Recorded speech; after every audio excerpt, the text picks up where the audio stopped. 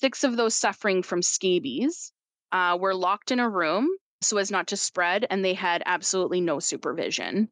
Overcrowding was a major issue, leading to one cottage having 17 boys sleeping on the floor. Most of these buildings had little to no insulation, therefore making them cold and damp in the winter.